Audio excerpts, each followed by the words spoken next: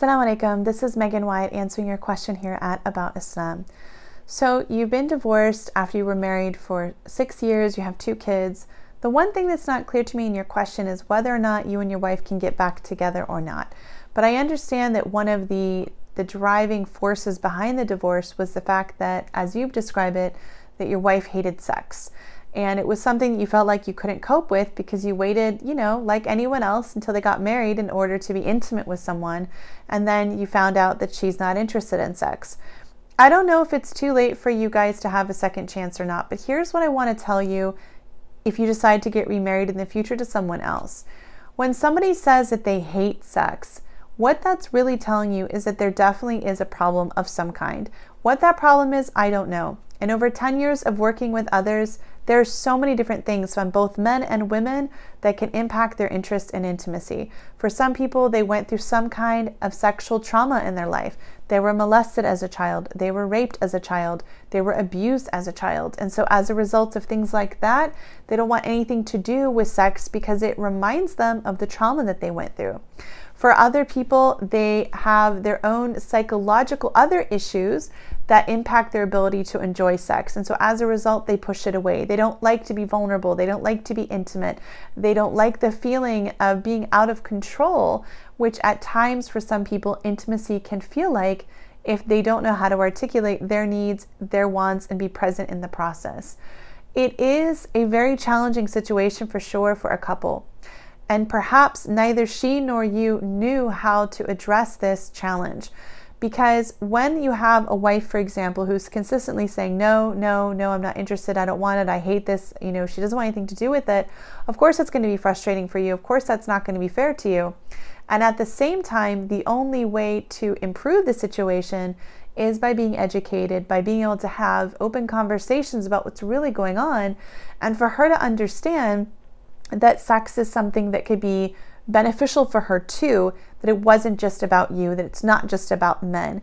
A lot of women don't have good education around this topic, and so a lot of them don't understand what's in it for them you know, were you as her husband able to satisfy her sexually? Did you understand her female anatomy? Do you understand how the, you know, the woman's body works? Do you understand, you know, what interests a woman, what it takes for her to be interested?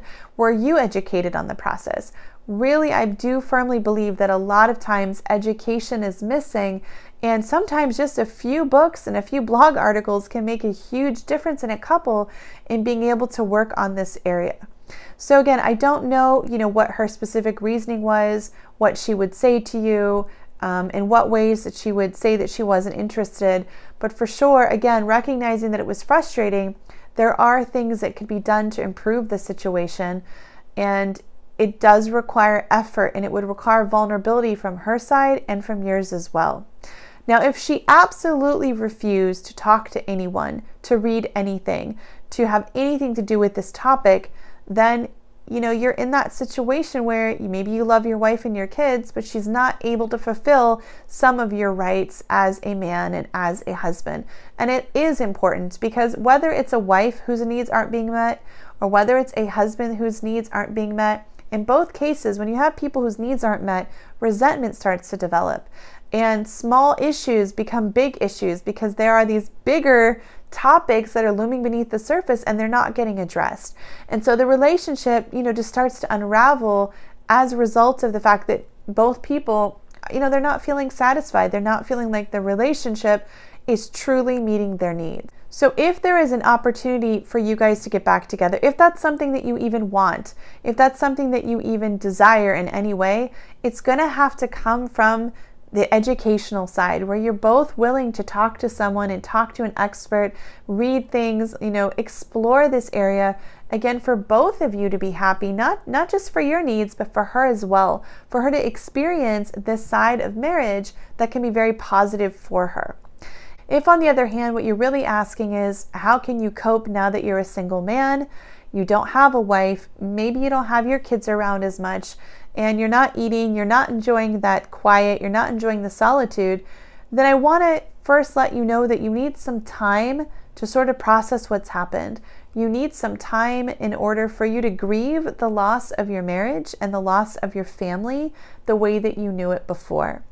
You definitely need to give yourself some space because this is a really difficult situation that you're in. Divorcing is never an easy decision for anybody. Adjusting to being alone is very, very difficult for many people, and it can be very lonely and very isolating. A lot of people aren't going to understand how you feel. A lot of people aren't going to understand what you're going through.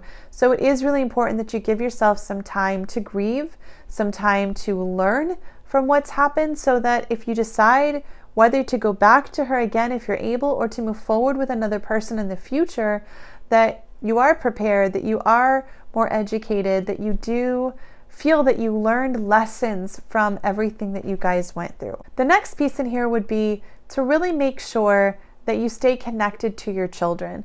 That even if you're not married, you show your ex wife respect, you show her kindness, you speak well of her, because always your kids, that's going to be their mom. So be a gentleman and be kind and do your best to always show up and be helpful in any way for whatever she needs to raise you know your children because you don't want your children to suffer as a result of your separation. So be a gentleman, be kind. Maybe you're not married anymore, but she still is the mother of your children.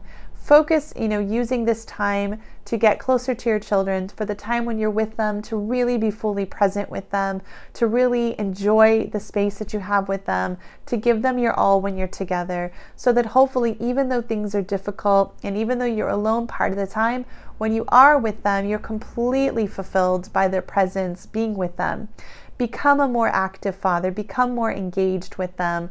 If you if there's a place here to become more educated, you know, being a single dad and parenting, again, lots of articles, lots of videos, lots of resources out there completely for free online.